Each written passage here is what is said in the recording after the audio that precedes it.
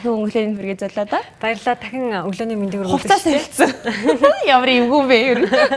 Тэгэхээр өнөөдөр бол бид давхар биетэй ээжүүдэд зориулаад маш олон гоё зөвлөгөө мэдээлэл хүргэж байгаа. Тэгэхээр спортын болгогаар мэдээж одоо давхар биетэй ээжүүд маань дасгал хөдөлгөөн одоо ямар ач холбогдолтой вэ гэдэг талаар мэдээлэл өгнө. Тэгэхээр энэ хүрээнд бас та бүхэндээ маш гоё оновчтой одоо зөвлөгөө мэдээллийг хүргэхээр манай студид бас үнэтэй зочж ирсэн байгаа. Саран гэрлэгч минь ирсэн. Яагийн багш тасгалж явуулагч танд өглөөний мэнд хүргэе. За бүгд нь өглөөний мэнд. Тэгээд та бүхэнтэй болон бүхий л хөөрхөн жирэмсэн ээжүүдтэй энэ сайхан өглөөний мэндийг өргөд өнөөдөр та бүхэндээ өөрийн зүгээс бэлдсэн зөвлөгөөнүүд дасгалуудаа зааж өгнө. За баярлалаа.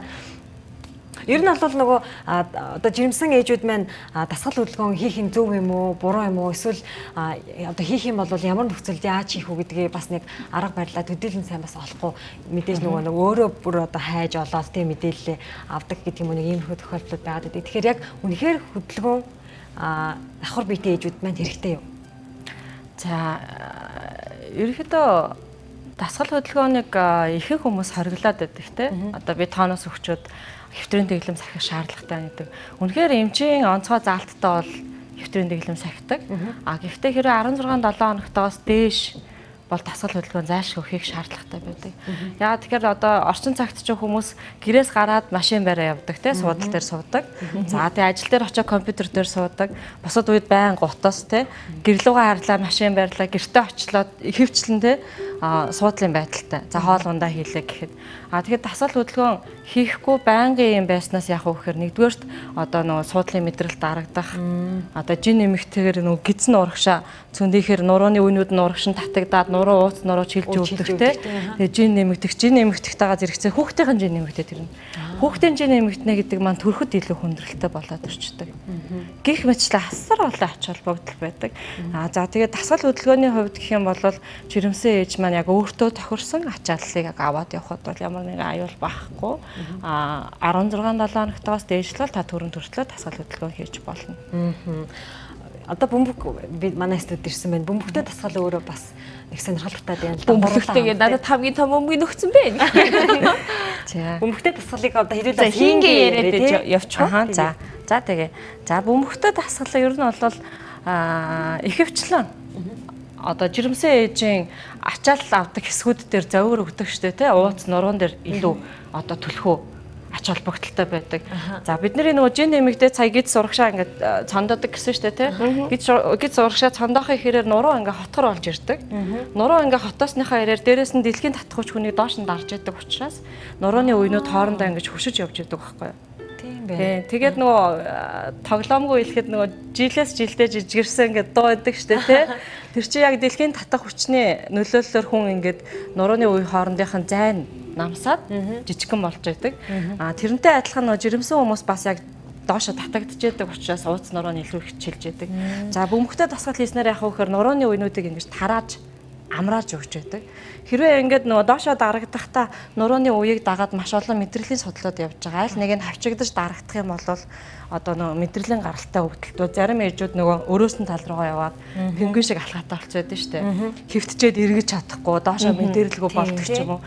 Тэр болгон зовиорууд чинь тэрнээс үүдэлтэй байдаг учраас бөмбөгтэй тасаалыг зайлшгүй хийх шаардлагатай байгаа. За их тасалчгээс өмнө халах уу? Халах уу? Эхлээ халах. Аюур спорт юм билээ. Халах хэрэгтэй гэд. Манай жирэмсэн яж маань хэдэн 7 хоногтой яж үлээ? Одоо 28. 28 7 хоногтой. За 7 сартаа гэж явах нь 4 7 хоногийн нэг сараар явахаар 4 7 28 тий. Ууц нуруу таны хувьд хэрж хэлж байгаа гайгүй юу? би ер нь жоохон хөнгөн маягийн жирэмслээд хайж гизээ марчдаг гэдэг байна шүү дээ. Гайгүй хөнгөн. Гэхдээ нэг баг зэргийн нөгөө жин нэмэгдээд түнхээр жоохон хатгах тийм л асуудал байгаа. Тэрнээс бусдаар бол гайгүй.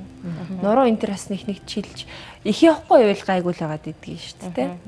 Тэгээ ажлын ачаалал бас их нааш цаашаа машин барьж явах өдр бол. Тийм машин барихад ер нь жоохон төвөгтэй болж эхэлж байгаа.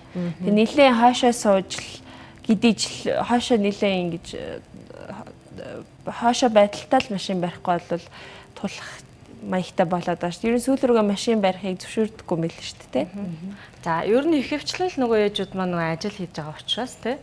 Аа ажиллаа хийж байгаа декрет авдаг учраас өнөөдөр би та хэдтэй аа ерөнхийдөө нөгөө нэг бөмбөгтэй тасгал дээр тасгал ингээ яаж одоо уус нуруугаа амраах уу гэдэг тал дээр нь бодож ирсэн байгаа. За тий хийгээд тий. За тий. За эхний ээлжинд хэдүүлээ ямар ч байсан халаалт маягаар за бөмбөн дээрээ суугаараа. Аа за. Гоцсон дээрээ хөлөө тавиад халтрахгүй үднээс За мэдээж жирэмсэн ээжүүд учраас бид нар нөгөө альва эрсдлээс урдчаас сэргийлэх хэрэгтэй болно. За манай хоёр бөмбөгөө нааталт нь гаргаад аль болох гудсан дээр ингэж ячвал зүгээр шүү хөлөө. За гудсан дээр наа чиг иймэрхүү байдалтай суучихсан. Нь халтруулахгүй гэдэг байгаа байхгүй. За эхлээ хэдүүлээ бөмбөн дээр зүгээр алхалт сурыг. Баг зэрэг халаалт маягаар те. За баг бага бөмбөн дээр ааж өгөөрэй. Чи ямар гоё гоё юм бэ? За одоо хоёр тал руугаа хөлөөж ийн. Баруун зүүн гэх мэтлээ. Хамт ий. Баруун зүүн. Ой. баруун зүүн. Баруун зүүн. Баруун зүүн.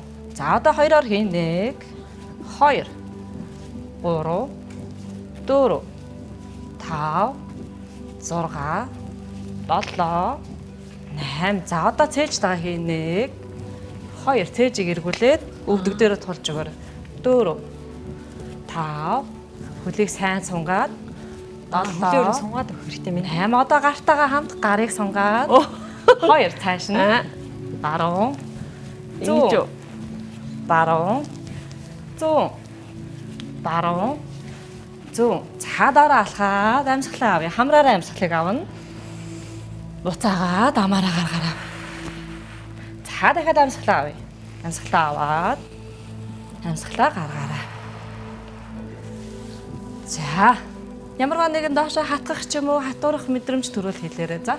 За. Одоо бөмбөгөө хоёр тал руу нь зөөлөн төрж өгөөрэй. За энэ маань ингээд а, бөмбөгөн дээр а, та зараа бөмбөгийг эргүүлэхдээ хоёр тал руу нь төрөх ийм тохиолдолд яг суудлын мэдрэл тавина. Одоо зөөрөдийг багасгаж өгөх хэрэгтэй. Нөгөө миний яриада түнх гэдэг байгаа чим Харин тийм нөлөөлж ш, тий? Нөлөөлөх юм байна тий. Ер нь дасгал хөдөлгөөн хэдий ч инээ одоо яг өөрийнхөө хэмжээнд тохируулаад бие биедэр тохируулаад хэдий ч инээ сайн хийж ин төрөлтийн үйл явц ч гэсэн маш сайнаар нөлөөлөх бах тийм ээ. Одоо жирэмсэжд бол За би тэрийг илүү дэлгэрэнгүй хэлж байгаа. За. За бөмбөгөө хоёр тал руу төрөй парон тал руугаа түрээд зүүн ингийн мөртлөө ач холбогдол өндөртэй байдаг. За одоо нэг тал руу тайргаар эргүүлж өгөөрэй баруун тал руугаа. Нэг. Хоёр. Бөмбөг чи ямар төвшигтэй юм бэ? харин тий Гурав. гоё юм байна. Тийм байна. Тань ямар мэдрэмж төрж Гоё юм. Өглөө усаа тасгал хийгээгүй. Дөрөв. За одоо эсрэг тал руу. хөнгөн мэдрэмж төрж байна. Тав. Нурууны тэр булчинг бас суллаж амрааж өгөх. Үүднээс бол бөмбөгтэй тасгалыг жирэмсэжүүд минь байнга л хиймээр. Долоо. 8. За зөвхөн жирэмсэн гэлтгөө ер нь бол одоо ингээд нөгөө физик эмчилгээ хөдөлгөөн заслын үйлчилгээнд дээр дөнгөж 20 гарцсан 30 гарцсан залуучууд айгүй их эмчилгээнд очиж байдаг. Дандаа нурууны суулт, гулсалт, хазаалт өгсөн тий. Яг нөгөө хөдөлгөөнгүй байж агаад огцом нөгөө хүндийн мөргөөд ч юм уу тий. Нуруунд аям оролцсон сасар их ирдэг байгаа. Тэгэхээр нөгөө бөмбөг одоо айлт ер нь нэг ширхэг байхад гимгүү. Аа жирэмсэн гэлтгөө бусад хүмүүс яг хөр өдөртөө нэг удаа бөмбөн дээр хөвтөд нурууныхаа уйнуудыг ингээд тараагаад амраагаад өгөх юм бол альва тэр эрсдлээс сэргийлж өгөх боломжтой. Дээрэс нь одоо нурууны уйнуудыг тарааж амраана гэдэг маань энэ булчингийн зангирлуудаас сэргийлж өгөх хэрэгтэй байдаг. А булчин зангирны болохоор одоо энэ дээшээ нөгөө э, хүмүүс хэлдэг шүү дээ тий тархины судасны судасны найрслын гэдэг. А булчингийн зангирал яадаг вэ гэхээр толгоороо нөгөө цос гүөх урсгалыг одоо удаашруулж өгдөг. Тэгээ тархинд очих хүчил төрөгчийн хангамж, цосон хангамжийг багасгаад өгдөг. Тэгэхээр илүү нөгөө толгоо өвдөх ч юм уу, манс таталт өгөх ч юм уу, тиймэрхүү илтэ басан юм. За хэдүүлээ юу яа. Дараагийн хэсэг дээрээ яг одоо нурууны булчин судлах, нурууны баг зэрэг өвдөлттэй байвал хэрхэн йогийн дасгалаар аа, урьдчилан сэргийлж болох тухай мэдээллийг бас йог хийнгээ үзүүлэх болно. Баярлалаа.